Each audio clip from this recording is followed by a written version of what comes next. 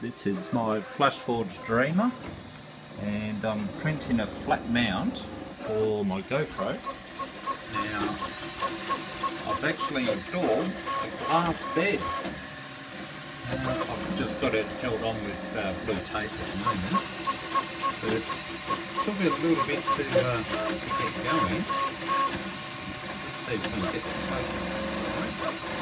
focus like it's uh, alright at the moment. So that's the mount there, and the bits on the side, that's the uh, support structure using the spline forge splicer. That seems to be uh, doing alright. And I'm using this uh, UHU stick uh, to put down on the bed uh, before I print and that seems to be doing alright at the moment. So I might be might be in luck. Seems to be sticking pretty well. There's no delamination or anything like that.